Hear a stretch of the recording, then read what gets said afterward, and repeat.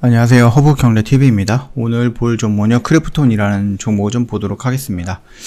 음, 게임 관련된 종목이고요. 저희 허브경제TV 왼쪽에 보시면 공식 채널이라고 있습니다. 장중에 어떤 이슈 나오면 깔끔하게 정리해서 올려드리고 있으니까 도움이 될 거다라고 좀 말씀드립니다. 카톡 친구 추가하실 때 친구 추가 아이콘 클릭을 하시고요. 아이디로 추가 버튼 눌러주신 다음에 HERB2019 눌러주시고 친구 버튼 눌러주시면 저희랑 친추 될 거예요. 그러면은 뭐 무료 추천 종목이라든지 무료 체험 종목이라든지 아니면 크래프톤에 관련해서 문의할 게 있다든지 아니면 저희 허브 경제 TV에 대해서 궁금하다든지 이런 부분 같은 경우는 카톡 친구 추가하시고 저희한테 물어봐 주시면은 자세하게 안내를 해드릴 거고요. 혹시 뭐 크래프톤 관련해서 궁금한 거 있다라고 하시면은 친구 추가하고 문의 남겨놓으세요. 다음 영상에 그걸 위주로 해서 찍어 드리겠습니다. 이거 좀 참고하시면 될 것 같습니다. 자, 일단은 모바일 배틀그라운드 누적이 10조 원을 좀 돌파해서 눈길을 좀 끌고 있다라고 좀 얘기가 나오고 있네요. 그래서 굉장히 큰 성과를 좀 보여주고 있는 거다. 이렇게 봐주시면 될 것 같습니다.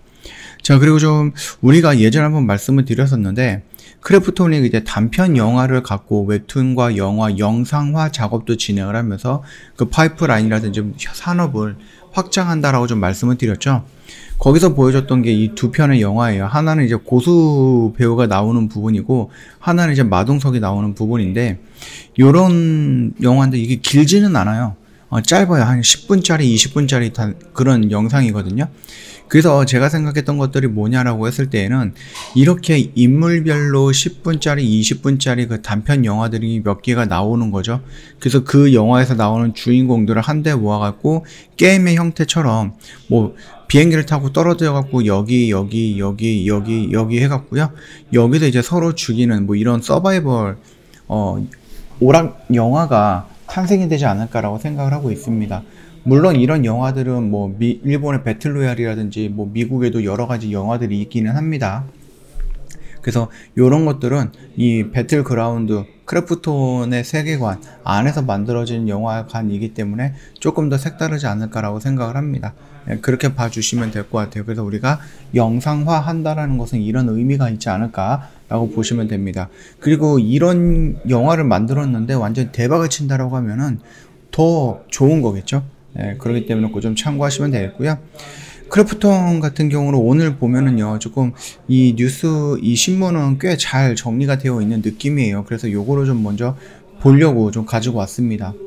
1월 진행된 PC와 콘솔 버전 배틀그라운드 무료화 전환 후에 어, 신규 유저 유입이 늘어나고 있고 복귀 유저도 큰 수로 어, 늘어났다고 좀 보시면 됩니다. 그래서 유료 구매자 수 또한 두 배 이상 확대가 되었다라는 모습 보여주고 있죠.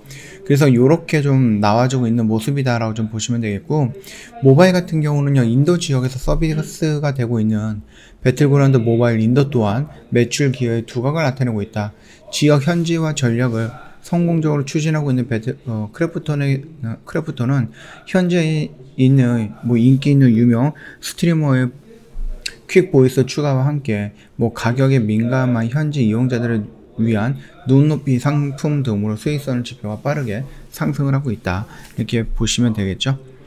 뭐 뉴스테이트 모바일의 경우 1분기 동안 적극적으로 repositioning 작업을 진행한 결과 커뮤니티라든지 유저 충성도가 긍정적인 효과를 볼 수가 있다. 이렇게 좀 얘기가 나오고 있는데 처음에 우리가 뉴스테이트가 뭐 나온다라고 했을 때 굉장히 많은 기대감을 갖고 있었지만 실질적으로 개봉이 뭐 나왔을 때 막 그렇게 좋은 성적을 갖고 지는 못했습니다. 그러다 보니까 그게 어, 나름 단기적인 악재로 반영이 되면서 많이 밀렸다 이렇게 봐주시면 됩니다. 어, 그러나 이거 같은 경우는 아까 전에 말씀드렸듯이 리포지셔닝 작업을 진행을 하면서 좀 긍정적인 효과가 나올 수 있는 것으로 보고 있습니다. 아무래도 뉴스테이트 같은 경우는요, 텐센트와 같이 진행하는 게 아니기 때문에 매출이 나온다라고 했을 때 매출의 대부분은 크래프톤이 가져가는 거라서 어, 더 어, 매출이라든지 영업이익이라든지 이런 실 적이라든지 이런 부분에 있어서는 어, 더 긍정적인 효과가 나올 수 있지 않을까라고 좀 평가를 하고 있습니다. 신사업 측면에서 크래프톤은 그간 준비해왔던 북미 지역의 AAA 동네 스튜디오의 멀티 플랫폼 신작 두 종이 올해 출시가 될 예정이다라고 합니다.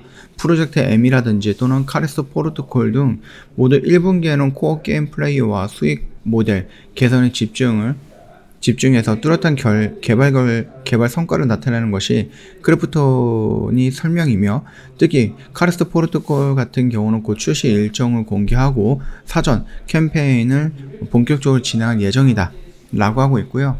어, SP2라든지 딥러닝 이런 부분들도 좀 중요하게 생각을 하고 있는데 결국은 가상인간이에요. 이거는 사람이 아니고 그래픽이다라고 좀 보시면 됩니다. 그래서 가상의 인간을 어, 가지고 그 것에 대한 뭐 성장이라든지 아니면 그거에 대한 캐릭터를 잡는다 이런 것들도 좀 진행을 한다라고 좀 보시면 되겠습니다.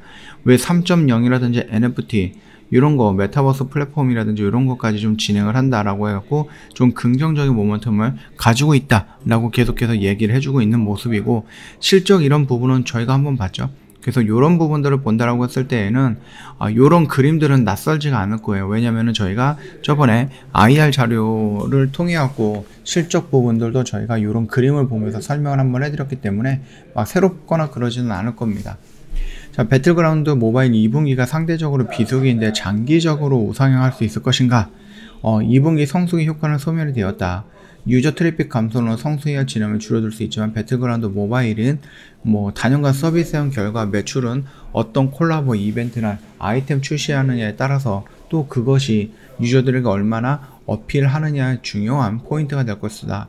그래서 앞으로 매출에 도움이 될 수 있는 좋은 제품들을 제공할 예정이고요. 특히 모바일 플랫폼과 관련해서는 올 하반기에는 어, 한차원 높은 스킨이라든지 아니면 뭐 여러 브랜드와 콜라보레이션도 추진을 하고 있고요. 어, K-팝 아이돌과의 가상 콘서트 및 신규 테마 모드 등 매출 어, BM 전략을 구사할 계획이다. 그래서 장기적으로 우상할 수 있을 것이다 라고 기대할 수 있다. 이렇게 얘기를 해주고 있네요.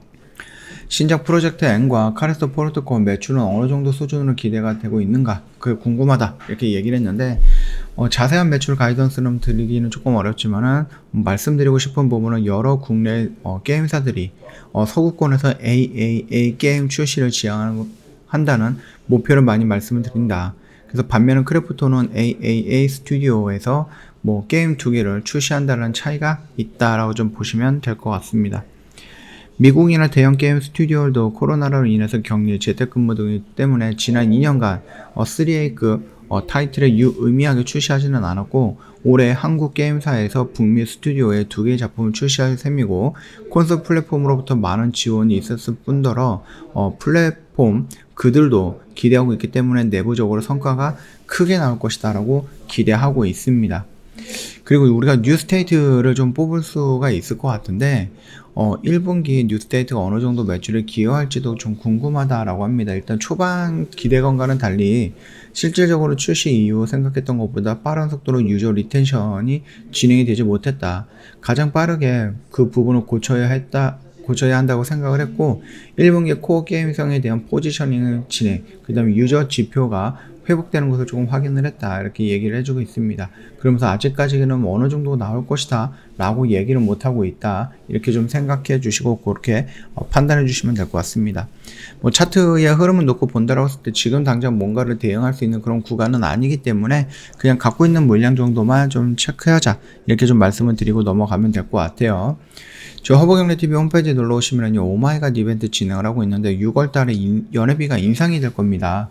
그렇기 때문에 미리 저희 신청을 해주시는 게 나을 것 같고 1년에 120만 원, 한 달에 10만 원꼴로 굉장히 저렴한 가격으로 이용할 수 있는 마지막 기회다라고 생각하시면 될 것 같고 마지막 이벤트다라고 생각하시면 됩니다. 언제든지 카톡 친구 추가하시고 궁금한 건 남겨놓으시면 되는데 카톡 친구 추가가 어렵다라고 했을 때 이 QR코드 이용을 하면 바로 1대1 채팅방으로 넘어갈 거니까 굉장히 편리하다라고 좀 말씀드립니다.